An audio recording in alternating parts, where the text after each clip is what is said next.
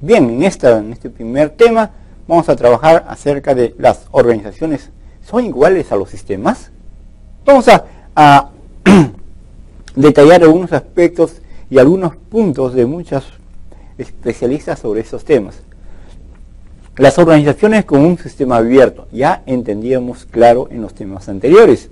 ¿Qué cosa era un sistema abierto? Un sistema abierto permitía de que el de que los escenarios, las situaciones, el entorno influenciara, influyera dentro de los sistemas. Igual manera, igual manera, las organizaciones, las organizaciones tienen ese comportamiento de un sistema abierto. Todo el entorno, el entorno influye en la organización. Entendiendo como organización una empresa, una asociación, una, un, una escuela, una clínica, en realidad esa es una organización. Bien, entonces, ¿por qué es un sistema abierto una organización? Porque va a participar con el entorno, va a haber un input y un output, va a haber una entrada y una salida con su entorno. El entorno siempre va a estar presente allí y siempre va a influir en las decisiones que puedan tomarse internamente dentro de la organización. Muy bien. Existen comportamientos probabilísticos y no determinísticos de las organizaciones. Las organizaciones desarrollan, desarrollan un conjunto de actividades y es afectado por el ambiente, sobre todo entendiendo lo siguiente. La relación que existe de la organización con el ambiente, con el entorno, es una relación probabilística de que puede ocurrir tal situación. Muchas organizaciones, vamos a entrar al detalle, una organización básica. Tienen ustedes una, una institución educativa. Esta institución educativa va a desarrollar actividades de servicio a los clientes, que en este caso los clientes son los alumnos. Bien, entonces la organización es afectada por el ambiente, y dicho ambiente, dicho ambiente, dicho entorno es potencialmente sin fronteras e incluye variables desconocidas e incontrolables. Porque en realidad hay muchas cosas, muchas cosas del entorno que no se conocen. Si se conociese todo el entorno, imagínense, ya el, el derrotero, el rumbo estaría claro y estaría marcado. Pero no es así. No se conocen muchas variables externas las variables exógenas no se conocen. Dentro de la organización es probable que conozca las variables endógenas internamente.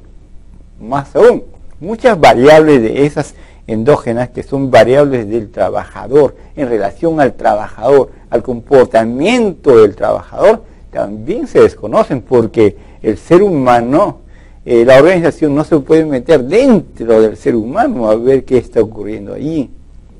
Bien, las consecuencias de, los, de las, de la sociedad, de sistemas sociales son probabilísticos y no determinísticos.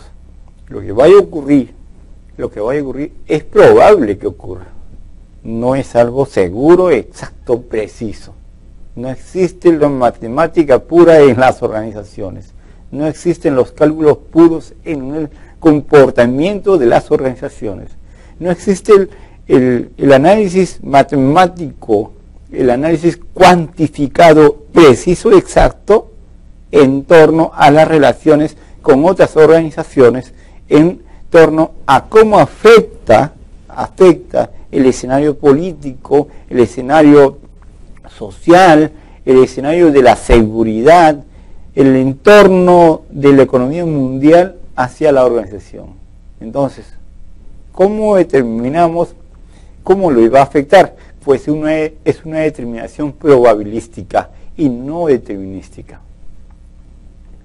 Muy bien, las organizaciones como parte de una sociedad mayor y constituida de partes menores, entonces son, son organizaciones, organizaciones inmersas dentro de otras. Estamos hablando de, de tu institución educativa esa organización, esa organización que es una institución educativa, llámese un colegio. Ya estamos, hablemos de que tienes un colegio. como organización o estás trabajando en un colegio. Esa organización pertenece a una organización mayor porque tiene que desarrollar actividades de fiscalización, actividades de supervisión con una organización mayor. En este caso son las UGELs, ¿no? Las UGELs, de la zona donde está. Pero esa UGEL también pertenece a una organización mayor. En este caso podríamos, podríamos hablar de las instituciones departamentales o regionales, pero a la vez esa departamental y regional, que es una organización, pertenece a una organización mayor, que es el Ministerio de Educación a nivel nacional. Entonces, las organizaciones son parte de organizaciones. Bien, existe interdependencia de partes. Un cambio en la parte del sistema afectará a los demás un cambio, un cambio en, la reglamentación del Ministerio de Educación afectará a las, a las departamentales o las regionales? Claro que sí.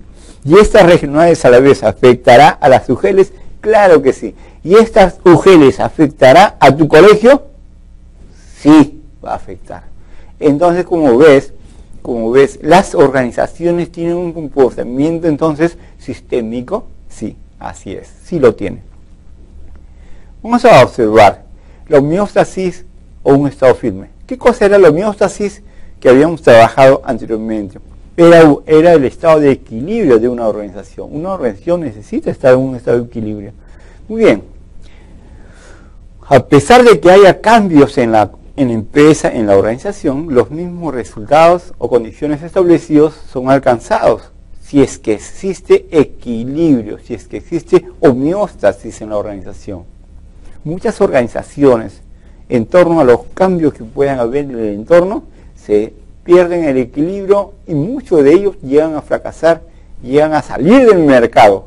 Salen del mercado porque no pueden competir. Qué importante es eso.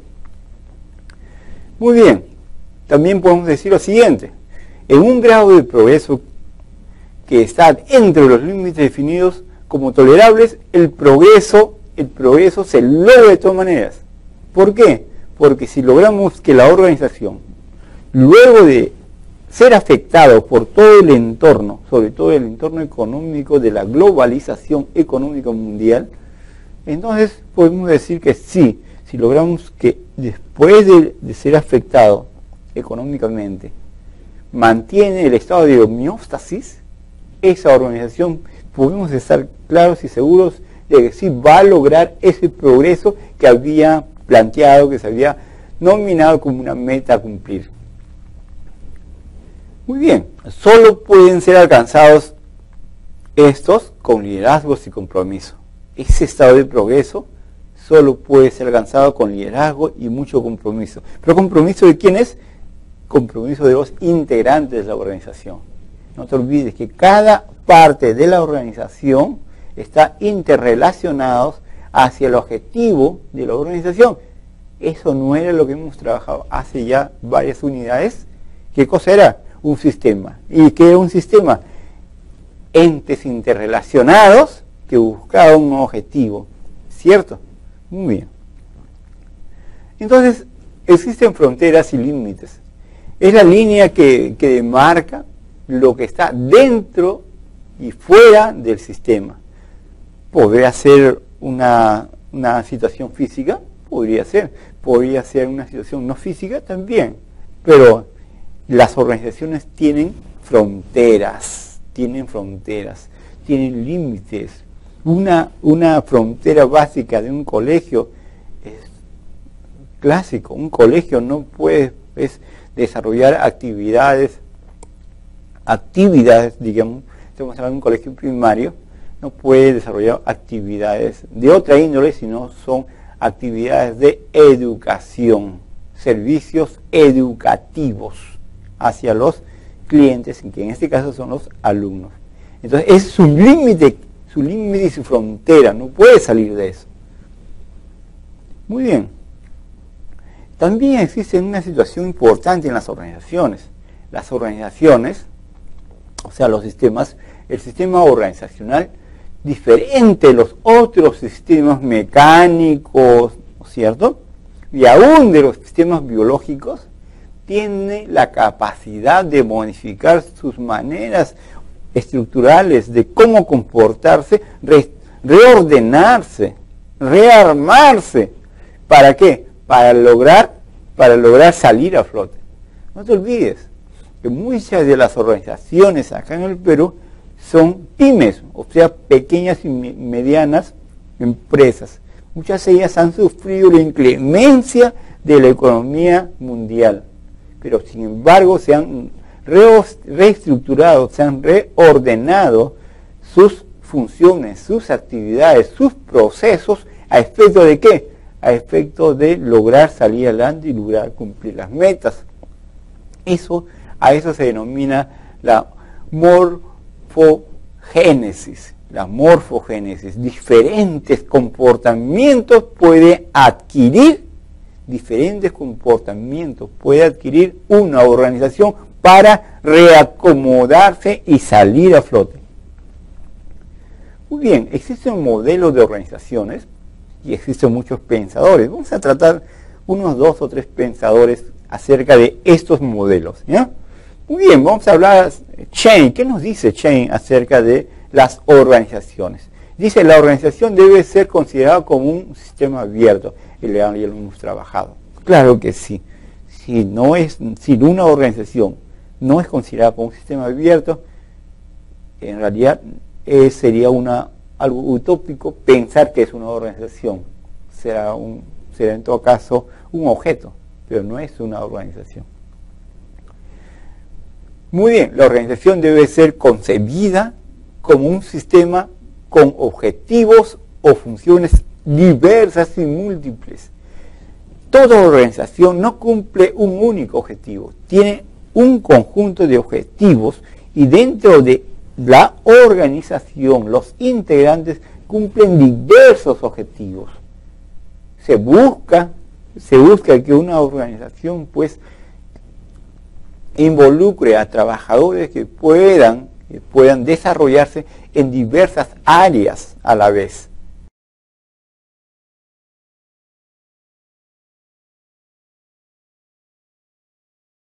Bien, también las organizaciones deben ser visualizadas como constituidas por muchos subsistemas, muchos subsistemas. Y entonces, si es así, si es así, que una organización tiene muchos subsistemas, podemos decir lo siguiente como ejemplo. Si estamos viendo que, hablando del colegio que tienes tú, ¿no es cierto? Como organización, tienes un colegio, pero dentro de ese colegio hay un pequeño subsistema de, de la gestión académica propiamente.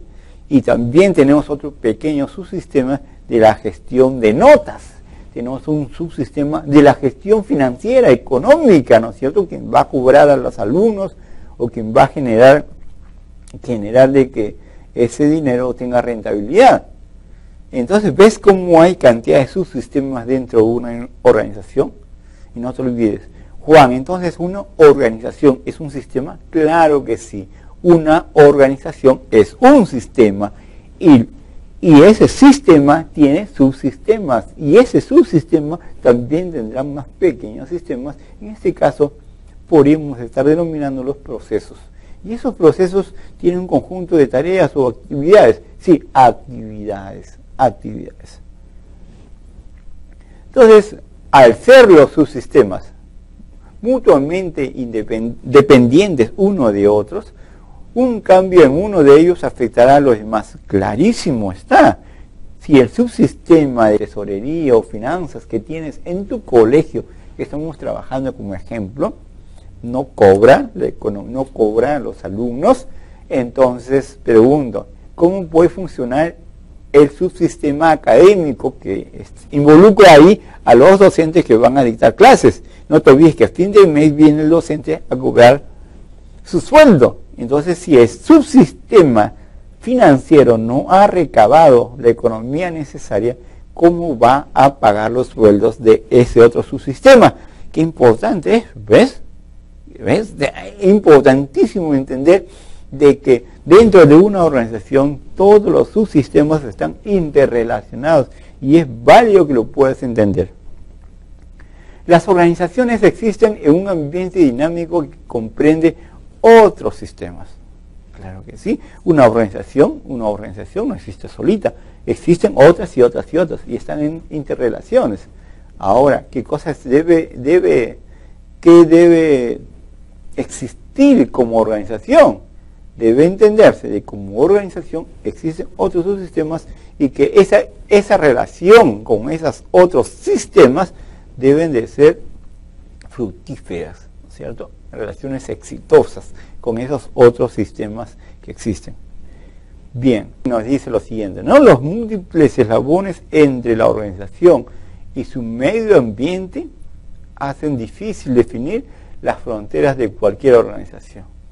Si pues cualquiera diría que, oye, este es mi límite, esta es mi frontera y ya hasta acá no más llego, no llego más. Claro, si tú lo marcas con un plumón o con una tiza o algo, excelente, ¿no? Pero así no funcionan las organizaciones. Las organizaciones, las organizaciones tienen una funcional, funcionalidad subjetiva, no es algo objetivo y tangible, tangible que diga marco y delimito, paredes, no hay eso, no hay eso en las organizaciones. Puede digo es que existen muchas funciones, muchas funciones que realiza una organización y también las realiza la otra organización, o cosas similares. Entonces es bastante difícil, difícil definir hasta dónde llega la funcionalidad de una organización y hasta dónde llega la otra, la funcionalidad de otra organización. Si ves, ves en este caso, en este caso, las situaciones que ocurren cuando el Congreso emite leyes y la, y la, la organización encargada, ¿no es cierto? El Tribunal Constitucional eh, indica bueno, que esta ley está malada, no, no debería ser. Entonces existe una, una pelea, una fuerza de poderes, y, le, le preguntas, oye, ¿hasta dónde son los límites? ¿no? Entonces eh, no es tan claro necesariamente, pero se busca de que exista una relación de confraternidad, una relación exitosa entre las organizaciones. También Katz y Kahn plantean algunas cosas interesantes. ¿no? Ellos, ellos, ellos también han desarrollado toda una propuesta acerca de las organizaciones. Dicen, las organizaciones reciben insumos del ambiente y necesitan provisiones energéticas, ¿no es cierto?, de otras instituciones porque, ¿no es cierto?, porque de todas maneras la organización para sobrevivir requiere una relación con otras organizaciones y requiere que esas organizaciones puedan generar un input a esta organización. Es lo que le falta a tu colegio. Es lo que le es lo que eh, tratando el tema, el ejemplo de tu colegio que tú tienes. Ese colegio no existe si es que no recibe una, una licencia de la municipalidad. ¿Y la municipalidad qué es? Una organización para dejar de funcionar porque no tiene la licencia de funcionamiento de la municipalidad. Así tenga la licencia de funcionamiento del Ministerio de la UGEL, pues no va a funcionar porque, ¿sabes qué? Está cerca a un, a un mercado y, los colegios no pueden estar cerca de mercados. ¿Mm? ¿Te das cuenta? Entonces, eh, eh, entonces lo que nos dice acá Can y Can eh, es lo siguiente, ¿no? requiere que otras organizaciones provisionen energéticas energías, fuerzas hacia las otras instituciones. Muy bien, también Katz y Kahn nos dice lo siguiente, ¿no? Los sistemas abiertos transforman la energía disponible, importante, la organización procesa y transforma insumos en productos acabados, mano de obra, servicios, etcétera, etcétera. Sí, pues las organizaciones hacen eso. Las organizaciones reciben insumos y lo van a producir y convertir en un servicio o un producto. ¿Cuál, ¿Cuál será, en este caso, en el caso de tu colegio, cuál será el insumo? Muy bien, nosotros, ¿cuál es el objetivo del colegio? Educar. ¿Educar a quién? A los alumnos. Muy bien. Eso es como salida. Y como entrada, como entrada, ¿qué tenemos? Como entrada tenemos metodologías de enseñanza, sistemas pedagógicos docentes, docentes de, los, este, de los alumnos, toda una estructura, una estructura, una infraestructura de administrativa, ¿cierto? Entonces todo ello entra y como resultado sale una especial preparación de los alumnos. Bien, también es importante entender cuando nos dicen, los sistemas abiertos exportan ciertos productos hacia el medio ambiente. Igual será en este caso el colegio que, que tú tienes como ejemplo, ¿cierto? Como organización, ¿qué cosa exportará al medio ambiente? Pues en este caso el medio ambiente al escenario, a la comunidad, a la sociedad, sale un alumno preparado con valores, ¿cierto? Con creencias y con una sólida formación académica, de todas maneras, toda organización lanza algo al escenario, a la comunidad, a la sociedad, de todas maneras. Los sistemas como ciclos que se repiten, es importante. Es importante entender que los sistemas son como ciclos que se repiten y se vuelven a repetir. El funcionamiento de cualquier sistema consiste en ciclos repetitivos de, importación, transformación y exportación. Es así. Sale una promoción de tu colegio y vuelve a entrar otro nuevamente niños en, kinder, ¿no es cierto? O en, o en inicial. Vuelve a entrar nuevamente. Pasan por todo un proceso y vuelve a salir una promoción. Ahora, si lo vemos eso como una organización de producción, entre las suelas, entre el cuero, entre el hilo y proceso y sale el zapato. Pero que vuelve el ciclo nuevamente, pues el ciclo vuelve, porque vuelve a entrar más cuero, más suela, más hilo, más badanas y vuelve a salir los zapatos. Y se convierte en un ciclo productivo, de todas maneras. ¿eh? Muy bien.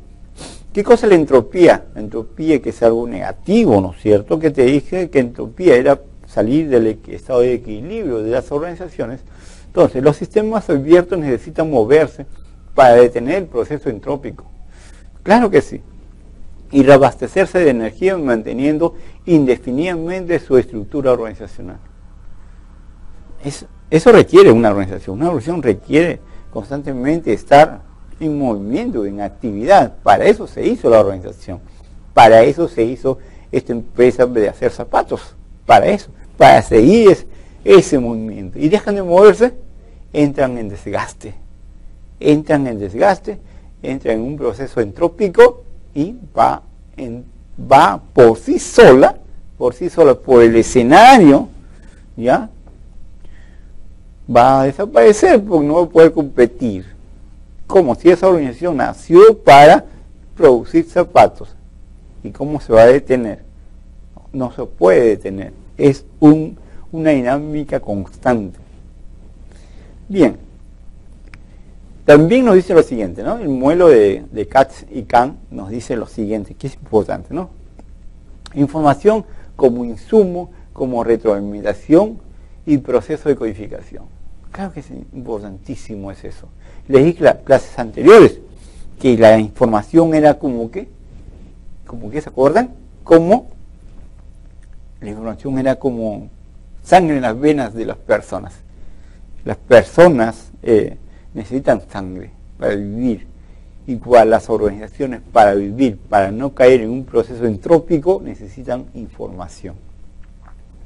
Los sistemas abiertos se caracterizan por lo siguiente, ¿no? un estado firme, ya que existe un flujo continuo de energía del exterior y una exportación continua de productos del sistema. Claro que sí. Entonces, ese estado firme, ese estado de homeostasis, de equilibrio de, la organización, se va a producir si es que existe una dinámica constante y sobre todo si existe información fluida en todos los niveles, en todos los niveles. ¿Y qué niveles son? El nivel operativo, el nivel táctico y el nivel estratégico. ¿Ya? Si existe información que fluya, que fluya en todos los niveles, pues entonces podremos decir que esa organización está en una, sólida posición está en un estado de equilibrio, está en un estado de homeostasis y dinámica. ¿no? Muy bien. Las organizaciones, como todo sistema abierto, tiende a la diferenciación, o sea, a la multiplicación y elaboración de funciones, lo que le trae, lo que le trae también multiplicación de papeles y diferenciación interna. Toda organización tiene diversas formas de comportarse. Esta organización prepara zapatos para damas. Esta organización prepara zapatos para damas.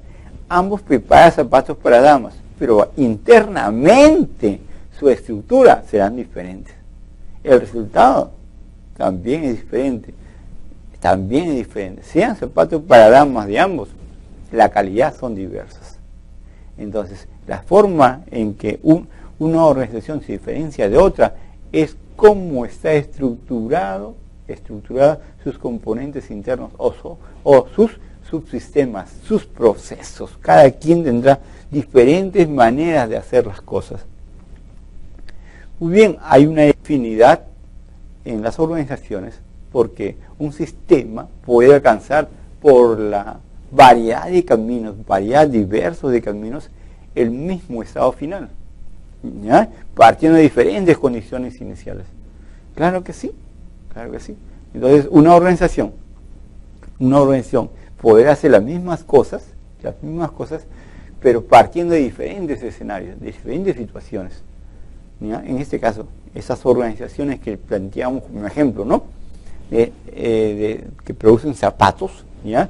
que producen zapatos, entonces esas organizaciones, cada quien tendrá puntos de partida diferentes. Una será más antigua, otra será más moderna. Una vendrá de las zonas albandinas, otro, otro será empresas de acá de la zona de Lima. Cada quien tendrá sus escenarios diferentes, pero finalmente, finalmente, convergerán en qué? En ofrecer los zapatos al mismo cliente posiblemente. Entonces el subsistema los subsistemas según Tavistock. Tavistock es un, también es un, es un sociólogo, ¿no es cierto? Muy, muy importante que entendía las organizaciones y nos, nos dice así, ¿no es cierto? Conlleva, dice, conlleva la tecnología, el territorio y el tiempo, es el responsable de la eficiencia potencial de la organización. ¿Qué cosa?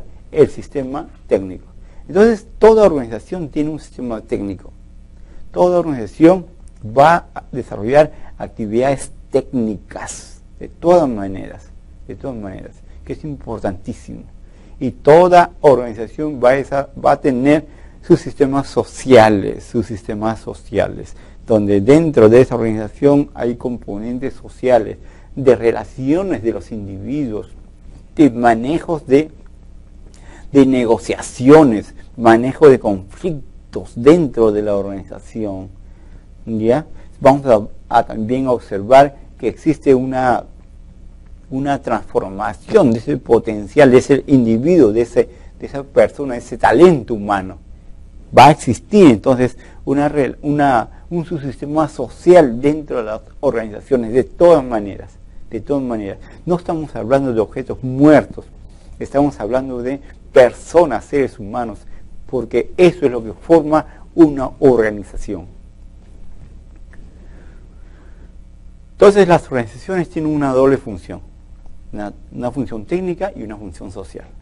Muy bien, dicho esto entonces, hemos logrado terminar, concluir esta primera, este primer tema de, este de esta cuarta unidad de este curso que estamos trabajando contigo, que es Introducción a las Tecnologías de Información. Muchas gracias.